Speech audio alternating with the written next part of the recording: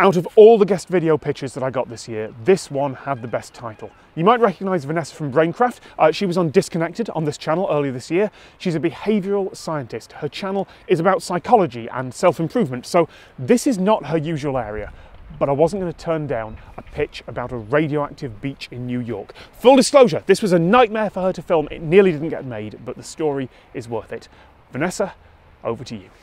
So I'm in New York City, deep in Brooklyn, and just over this sand dune is a beach that has recently been deemed radioactive. We can't actually go onto the beach. It's been closed by the National Park Service. It's appropriately called Glass Bottle Beach. It's full of glass bottles, pieces of the city's history, and radium-226. So to get over there, we're gonna have to get a little creative.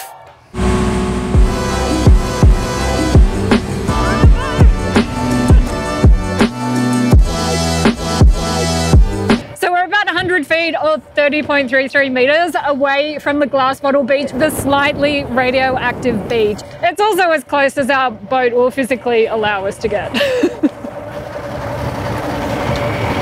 While I'm trying to survive at sea, you may be wondering how a beach can become radioactive.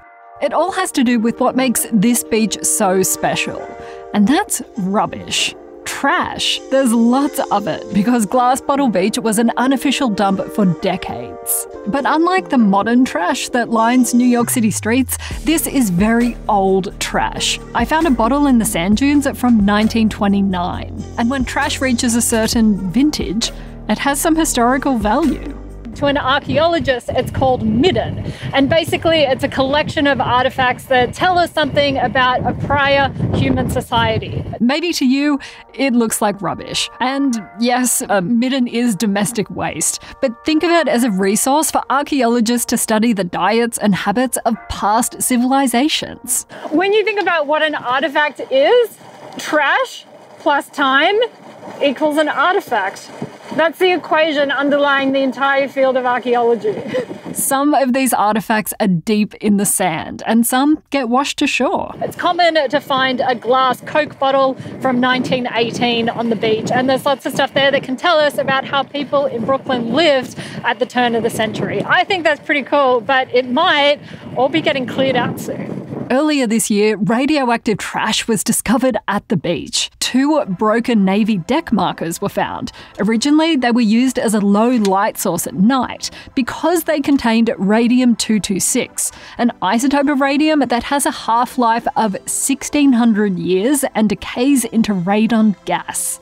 The gas can enter your body far more easily than radium itself, and both the radon gas and gamma radiation on the beach now exceed ambient levels. The National Park Service closed the site, even though the danger of deck markers has been questioned and it's earmarked to be cleaned up, meaning a lot of these really old artifacts will be removed, even if they're perfectly harmless. So it raises this question of what is valuable to preserve? Because this isn't about radiation as much as it's about urban archaeology. Let's imagine that in 200 years' time, people find all of our junk mail. Junk mail is probably something that you would throw out, but if that comes up in the future, if someone finds it, what would they be able to tell about our human society from the crap that we get in our letterbox? Probably quite a lot that you wouldn't find in official records.